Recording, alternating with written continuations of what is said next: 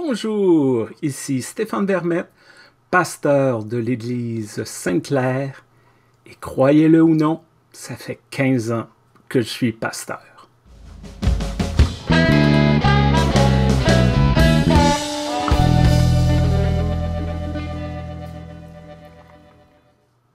Avant d'aller plus loin, que vous regardez sur Facebook ou YouTube, n'oubliez pas de cliquer, d'aimer, de partager et de vous abonner à notre infolette plus particulièrement, qui envoie qu'un seul courriel par semaine avec toutes mes capsules et d'autres informations pertinentes.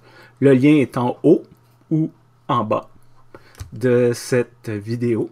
Vous trouverez aussi un lien qui vous permettra de contribuer à notre ministère parce qu'on a besoin de votre aide pour continuer, pour grandir, pour rejoindre le plus de monde possible. Eh bien oui, le 27 mai 2006, ma vie a changé un tout petit peu. Après des mois de démarches, de questionnements, de doutes, j'ai finalement accepté l'appel de Dieu. Je me suis dit, Dieu doit savoir qui je suis après tout. Alors si Dieu m'a appelé, ça doit être correct. Donc, euh, j'ai été ordonné par l'Église unie du Canada. Personnellement, je suis pas très anniversaire. Euh, vous pouvez demander à mon épouse, là, elle vous le confirmera. Pour moi, ces dates-là, c'est juste des chiffres. Je me sens pas différent d'hier ou de demain. Quand même, j'ai décidé de profiter de ce moment-là pour regarder derrière moi et de regarder mon parcours et d'essayer de voir ce qu'il y a, d'intéressant dans tout ça. Et bien sûr, je me suis souvenu de ma première paroisse. Plus précisément, c'était trois paroisses réunies au sein d'une charge pastorale. Ces gens-là qui m'avaient accueilli les bras ouverts, qui m'ont aidé à trouver ma voix, mon style en tant que pasteur. Euh, je me suis souvenu qu'une des paroisses, ben, le bâtiment n'avait pas l'eau courante. Et on ne parle pas de 1950 ici. Euh, à la fin de chaque culte, à une des paroisses, il y avait un chien assis qui nous attendait au moment de sortir. tous les dimanches. Et même une fois, il s'est pointé avec un autre chien. Je sais pas qu'est-ce qu'il lui a dit.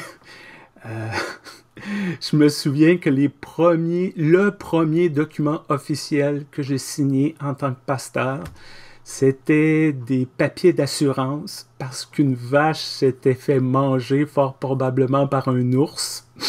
Les joies du ministère rural. Je me souviens de ma deuxième paroisse en banlieue d'Ottawa. Euh, à cet endroit, j'ai découvert les joies du travail en équipe, une équipe de pasteurs. Comment qu'on peut, on pouvait s'appuyer l'un sur l'autre. Euh, j'ai découvert des choses, euh, je m'attendais pas. Tout le travail que ça représente pour organiser une vente de plus de 50 000 livres usagés.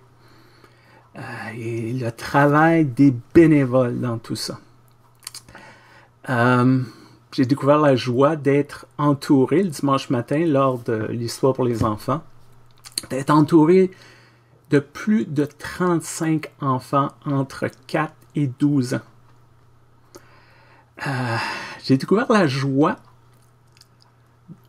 pas juste une fois, mais deux fois, d'inviter des imams locaux à offrir le message du dimanche matin. Au lieu de mon sermon, il y a un imam qui est venu prêcher. Et tout ce que ça représente de créer des liens entre deux différentes communautés, de foi différentes, culturellement différentes. Bien sûr, je me souviens de mon association avec ma troisième paroisse qui fut un échec un endroit où j'ai découvert beaucoup de choses, dont le bullying, l'harcèlement. Il y a eu ensuite ce que j'appelle la période traversée du désert. où pendant quoi 14-15 mois, j'étais à la maison à rien faire, puis j'avais l'impression que je ne servais à rien.